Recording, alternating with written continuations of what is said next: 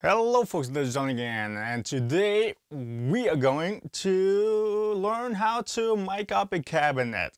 Again, I'm not a wizard with this stuff, I'm just some idiot who is trying to make a switch from amp simulation to fully analog because I've been working with amp simulation for like 15 years now and it's time for a change. But again, what I do know is how to figure it out and I'll bring you along on the journey. Now last video of course, people pointed out, hey, you could just reamp the DIs and that would make things simpler. Yes, and I would love to do so, but I do not have a reamp box, which is still on my to get list, but I don't have it right now. I don't exactly need it also right now. This method works, even though it's slow. So I'm also not going to spend that money on a decent reamp box right now. Also, in case you end up liking this stuff, then please subscribe, like, and comment below. You know the how, how it works on YouTube. So let's get started, shall we? First of all, what I want to do, uh, You'll see actually. You know, with, with, with miking up a cab, so you kind of want to know where, where the speaker exactly is and how you can position the mic. So what you would normally do, or well, normally quotations, so what many people would do is just take their phone uh, flashlight, put it right up against the grill, and you can kind of see the speaker down there. Okay, and then you can move the mic and you're good to go. Now, the thing is, I got me this uh, cap clamp instead of mic stand I know it's not ideal, but the reason I got me a cap clamp is because I don't want to have too much stuff on the floor. This room is pretty small and there's already a lot of stances and tripods and whatnot. It, it, it gets cluttered very quick. That's why I opted for a cap clamp. So, but right now, see what I'm gonna do, oh, I'm just gonna remove this right now. And I'm just gonna put this, this painting tape across the length of the speaker right about, not, not directly in the center, but because my mic is going to play, be placed there, but like a little bit. Now let's put it above so we can then also see it properly. Put it on straight like so. And now I'm going to use my flashlight and then I'm going to mark a couple of positions onto that tape.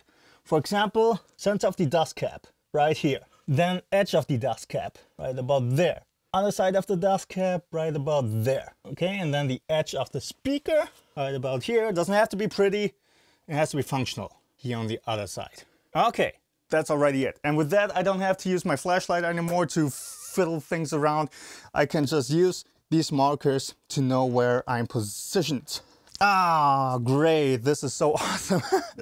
okay, the arm here of the cap clamp doesn't actually reach all the way down that the mic is centered with the speaker. Uh, right now it's directly in front of the tape. so let's take this tape. Okay, there we go, something like this. Now for this whole procedure, of course, I can not use my speakers to record. I mean, there's a microphone right there trying to pick up a clean signal.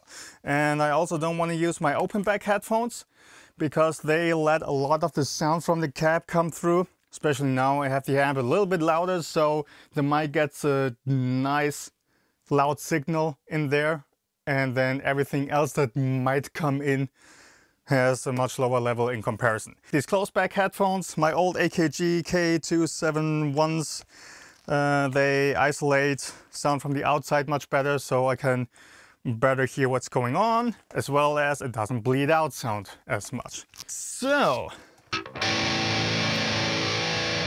and I can already hear the tone. Right now I'm directly monitoring this mic tone into my headphone.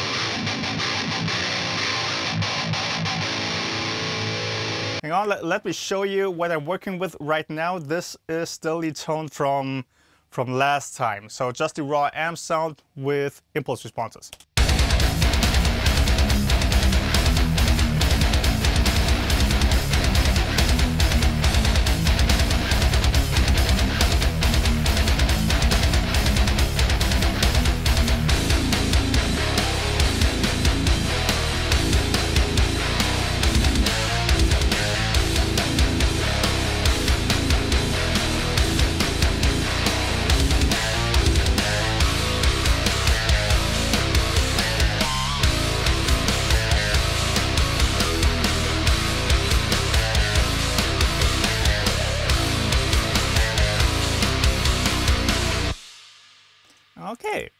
Let's make a recording here. Let's call this um, just center for mic being positioned in the center of the speaker. And let me record this real quick. Again, I don't have a reamp box to record the DIs and reamp those through the setup.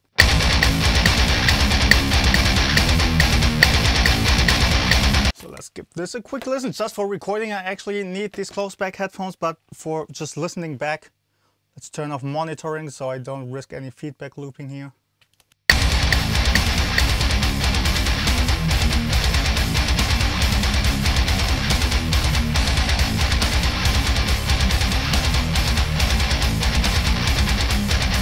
So yeah, a bit spiky, but all in all, not too bad.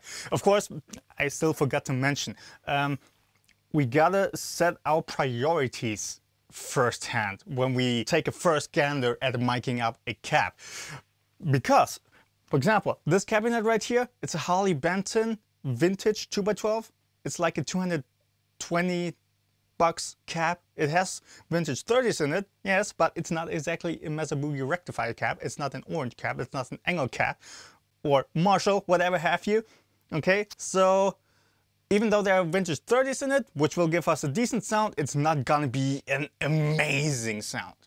Okay, but we can expect something decent. Also for the microphone, this right now is the SM58, not the 57 for other reasons.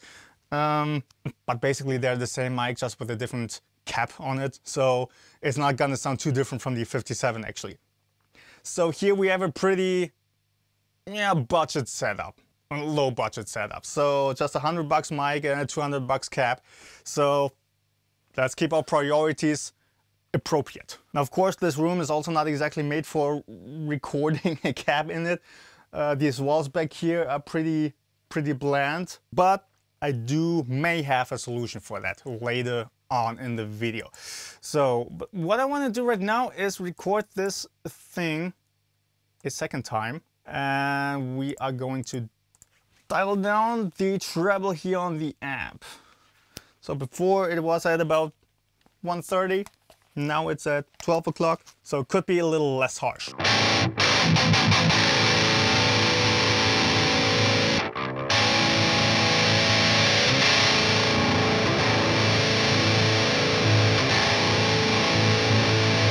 Let's dial it down even more to about, what's this, 1030. I, I kind of like very, very discrete angles, like uh, straight to the side, straight up, or 45 degree angle. It's just easier to, uh, to remember as well. Now, listen to that again. Oh, let's solo this.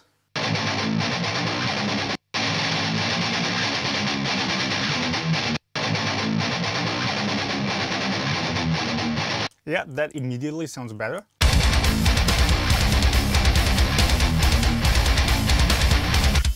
Let's also record the other parts now with this. Boom, now let's listen to this.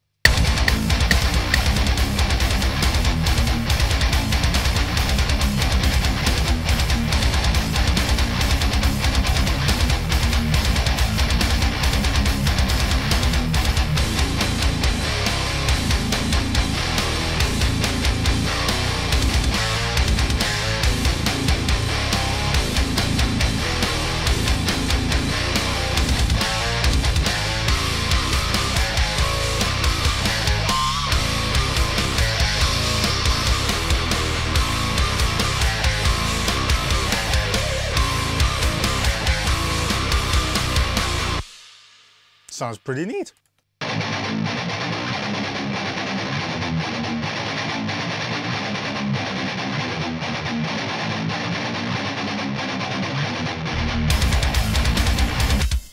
Okay, now let's try out some other mic positions.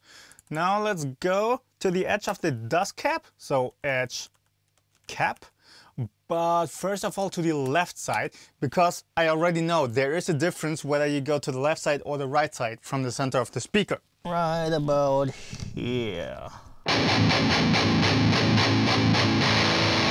And I just now noticed that I have not recorded Studio One, but now it is recording. But let's just make a quick test recording again. Now let's listen in.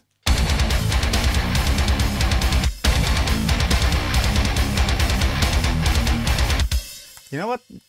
Let's do it all on their own tracks again.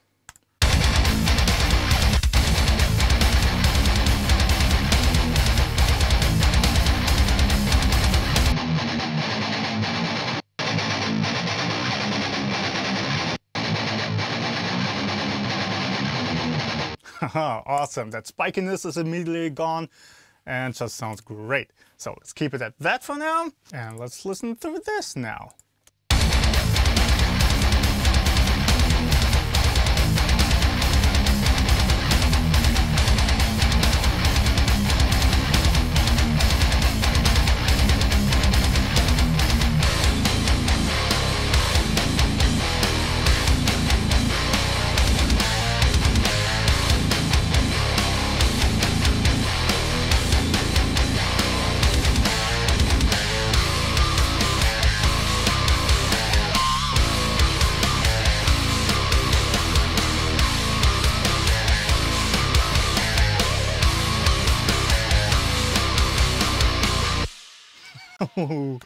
this sounds so cool. And all we did here is just a little bit of filtering just so that the low end doesn't get in the way of the bass and the top end doesn't get too fizzy. But this sounds so good already in the mix.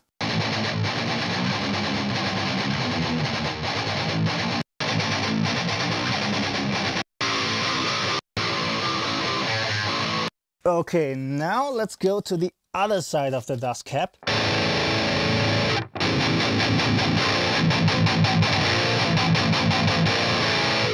Let's make a quick test recording.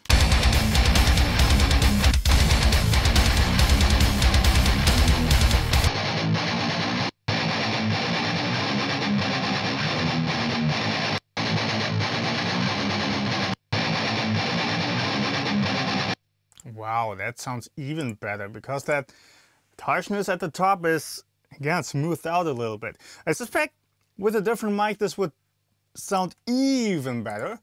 I already know what mic I want to get me, but that is for another video, of course. So let's call this edge cap right.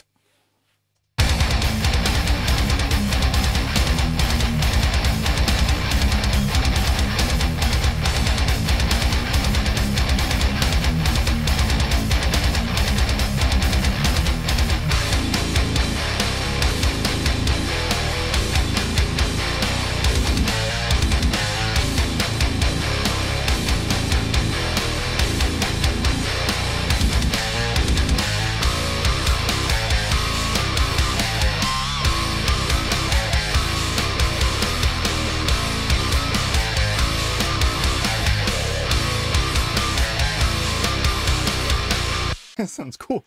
Let's compare with the other edge cap recording.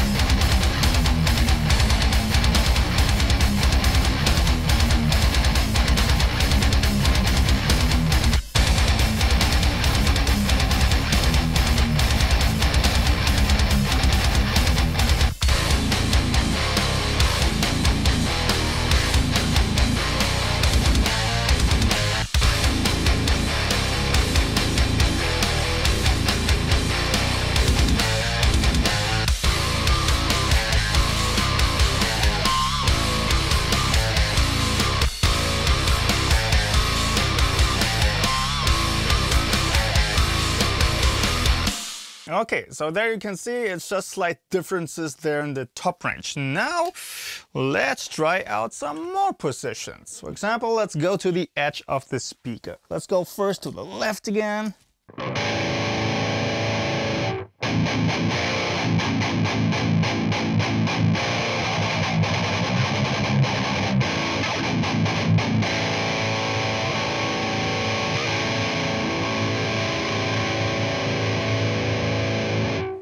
Call this edge speaker left. Yeah, let's keep the EQ the same for now. Just quick test recording again.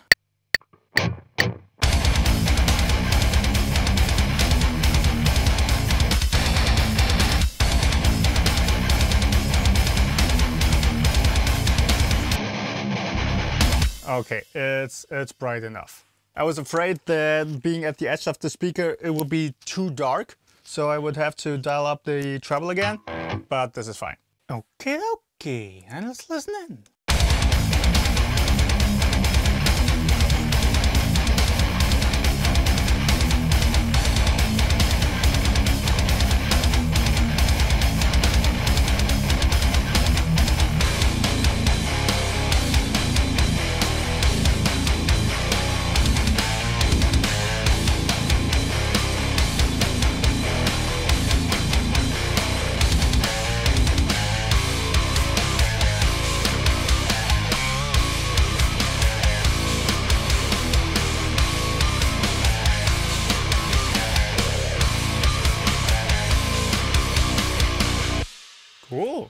Compare it again with the edge cap right.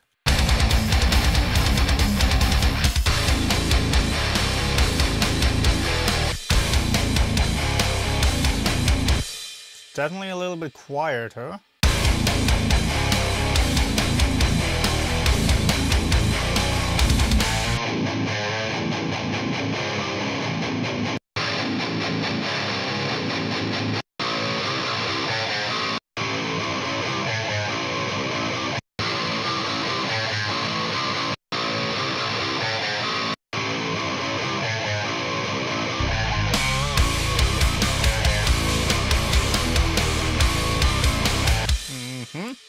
Since I'm not actually EQing these individual mic placement recordings, I just keep them on the same tracks after all. So now, next mic position. Again, edge of the speaker, but on the right side this time. Right about here. Now this does seem a little bit darker. So let's give it a quick test recording again.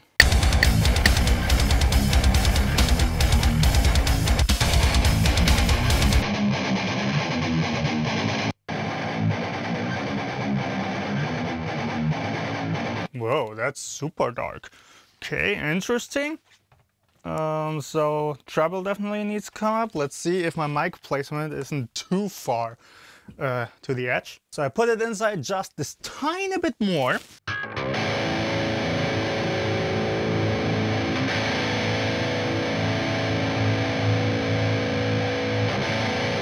Where's my pick?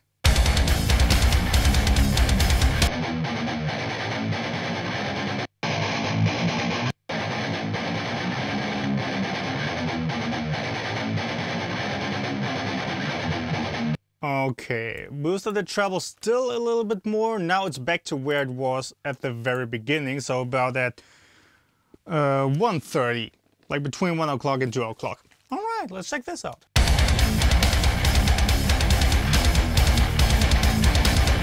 Definitely also needs to come up in volume. The problem here is now uh, the input gain on my interface is set already very, very high. It's almost maximum. It's like in that last 10% of the dial.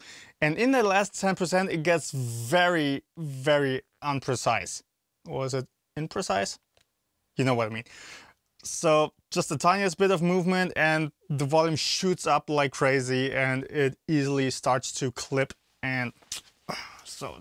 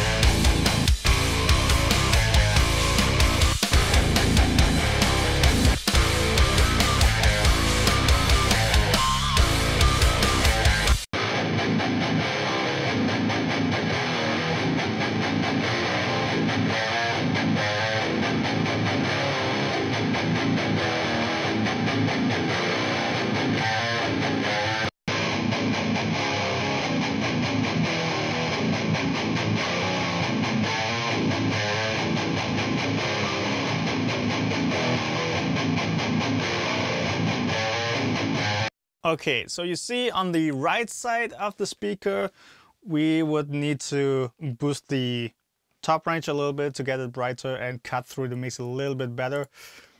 Uh, but in general, the nuances up there, I quite like. It sounds nice and smooth and not too pokey and spiky. Okay, now we got two more positions to try out and that is in between the dust cap and the edge of the speaker somewhere or other, give or take. And of course, also again on left side and right side. All right, here we got the in-between left side.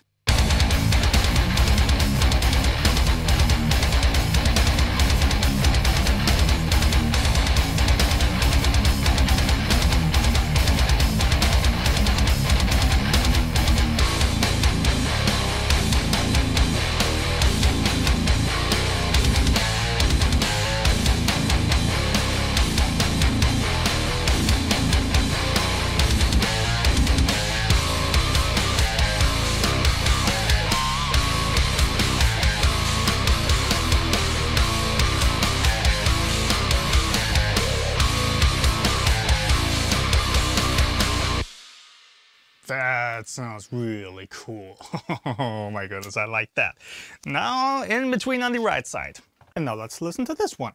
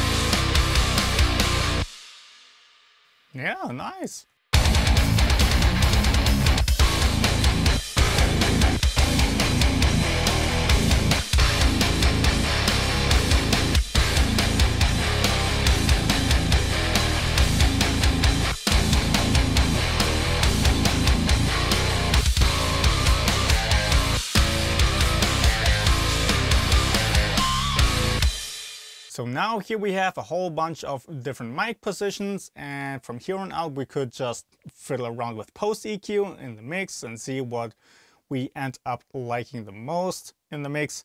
Uh, but well, personally I would kind of use two different mic positions for left and right so we again get a little bit more difference in there which creates a little bit bigger sound more stereo width. You know what, let's just match these two in-between tones.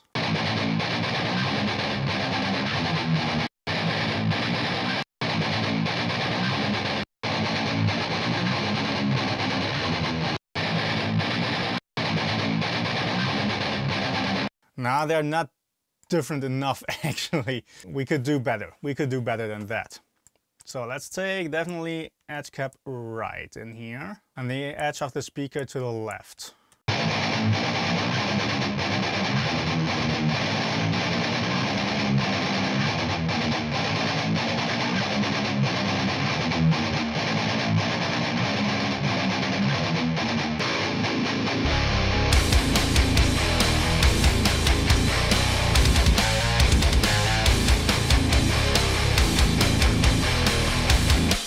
That sounds pretty nice. Let's also try and just match the two edge cap positions.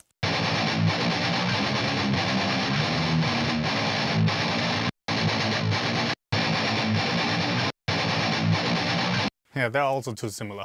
so yeah, I definitely quite like the edge cap to the right position and the in-between on the left. That's definitely something gotta keep in mind. Actually, I could mark that down on the little tape there. So we got that going for us.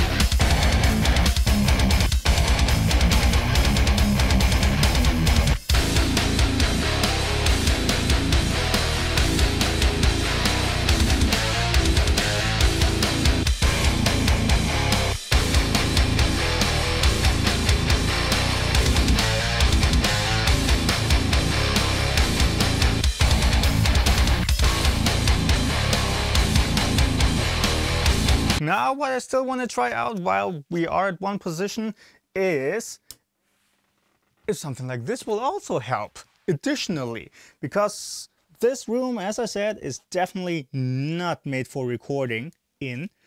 Um, I bought me this little thingy here, this mic screen, and let's see if that helps to clear up the recording even more.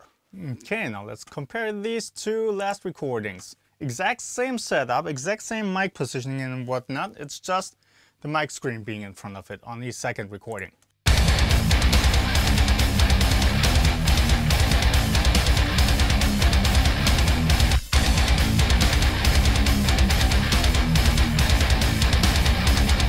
Of course, in the mix it's very hard to tell any difference, so let's solo.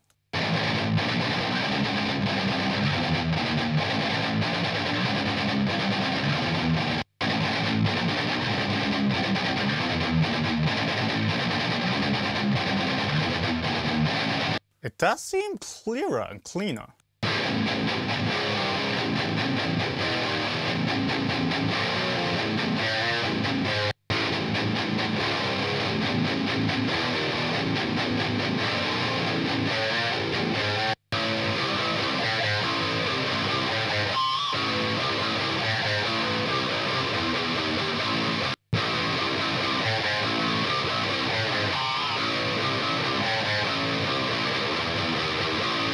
So I'm definitely gonna keep that screen for when I actually do recordings. Okay, cool.